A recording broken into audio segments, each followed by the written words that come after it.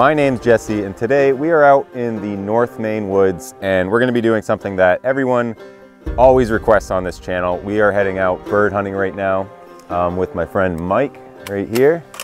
We're gonna drive down this road uh, until we get to a couple spots that I've seen some birds in, and then we're gonna get out and walk and hopefully get a few. I mean, I would be happy just getting a couple birds today, and we'll do a catch and cook. Maybe even today, Mike's got a cool SUV camper set up in here that I can show you guys later. But yeah, we'll see what happens. Look like a pumpkin. the orange glow is just the worst thing for a camera. it looks terrible. it's just like everything's dark and then you're just fluorescing. Wait, wait, wait, wait, wait, wait, wait, wait, wait.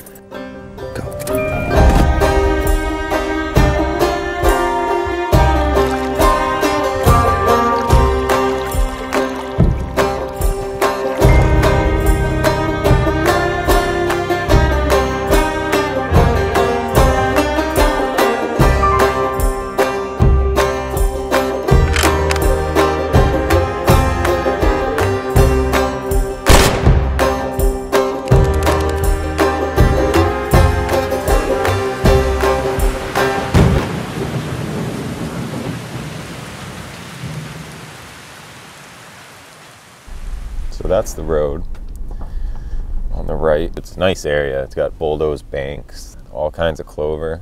And now that everything's dying in the woods, I think we're going to have a much better chance of them being in the road because you can see everything covered out there. But if they are like that bird we got last night, if they're just eating beech nuts, we're definitely going to have to walk. There's a lot of beech around here anyway. Find a scooter trail or something. Yeah, I know there's one old road that we can walk. Oh. Oh,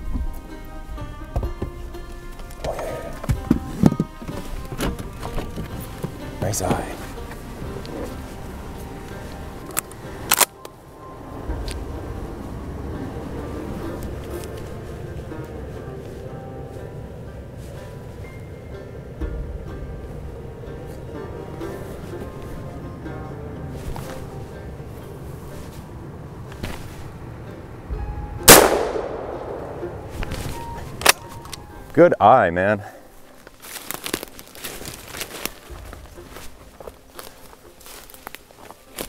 All right. Nice bird. Brown phase too. People call them red phase, but I think it's it's brown. Uh, it's just a different phenotype between the two.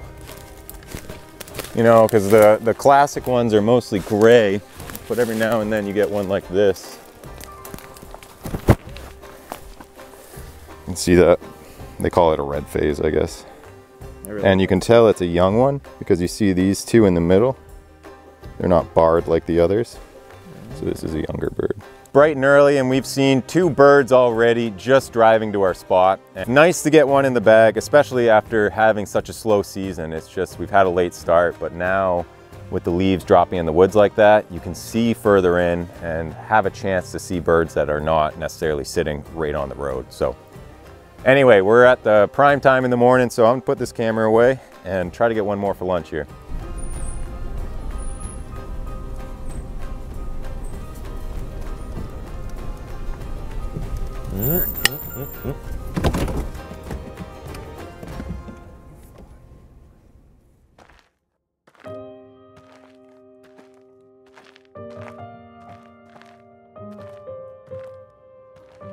Take it, take it. Look at the clutch.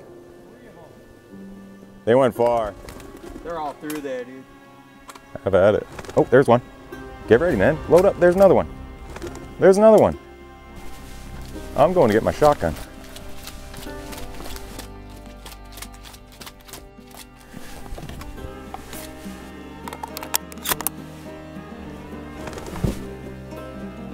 Holy, there's a lot.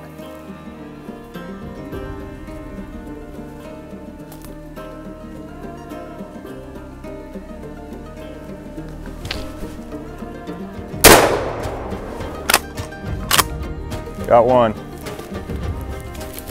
There we go. We finally hit a bunch of birds. Got this one. Nice gray tail. Look at that.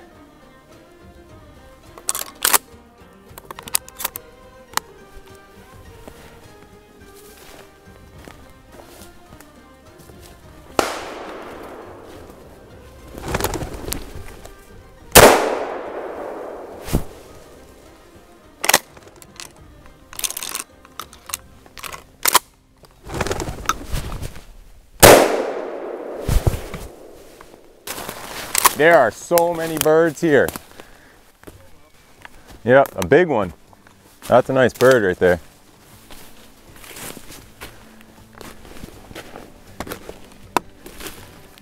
Well, that was a good flock of birds. That's actually the only flock I've seen this year, and there had to be about 20-ish birds in it. It was insane.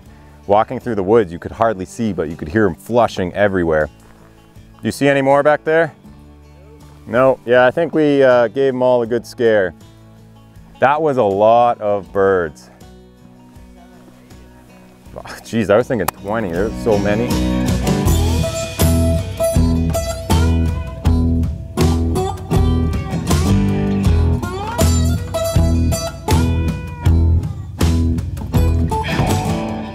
To a spot we're gonna walk. We're just gonna go down this road. So far, we've been doing pretty well. I mean, we just started, we've got five birds already, and we figured we need to walk a road before we end up limiting out. So I think we should see at least a couple birds down here. We'll see what we find, but I think we're gonna be limited out before noon at this rate. Domino.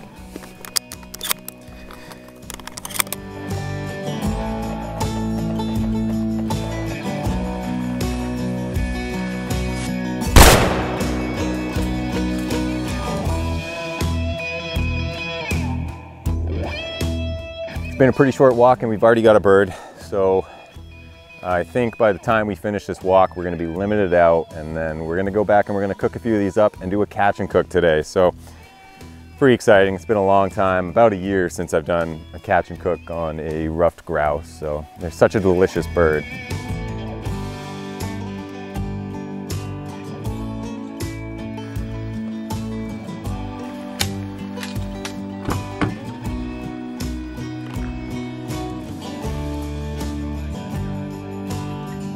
Oh, oh, oh. I see one. He's, I'm gonna shoot. It. It's tough to spot.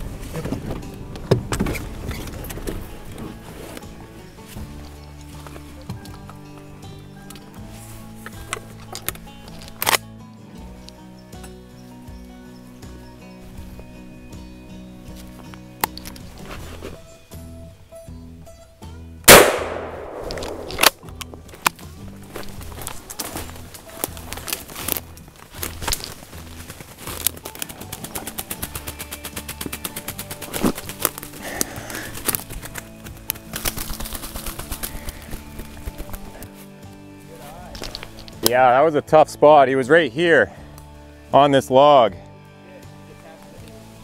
I just caught a perfect window of him.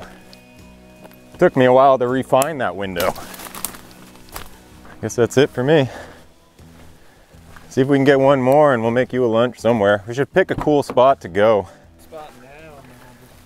We're gonna get another one at this rate.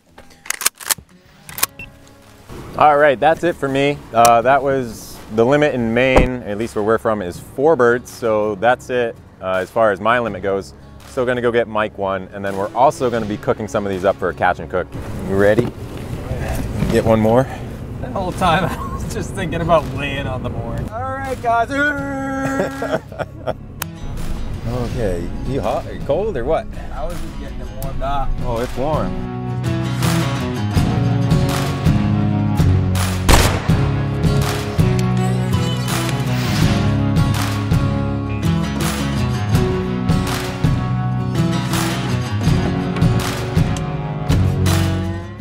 So we made it to where we're gonna do the catch and cook today, and we're gonna clean a few up. How many do you want to eat each?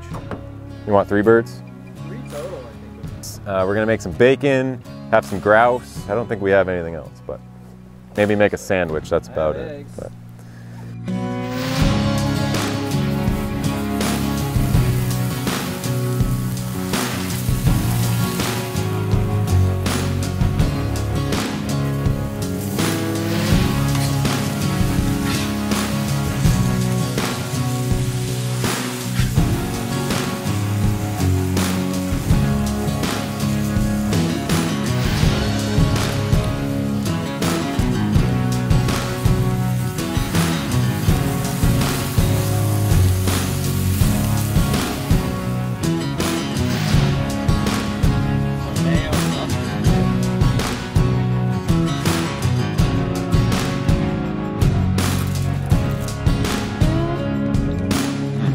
That is today's catch and cook. Obviously, it's not the most fancy thing. It is a bacon and partridge sandwich. We didn't really plan this meal through, and we just kind of came out hoping to get a couple grouse. Now, if you want to help support the channel, you can go check out my website. It's going to be linked down below. I've got some hats and other merchandise. So anyway, thank you guys so much for watching, and I will catch you in the next adventure. So have a good night.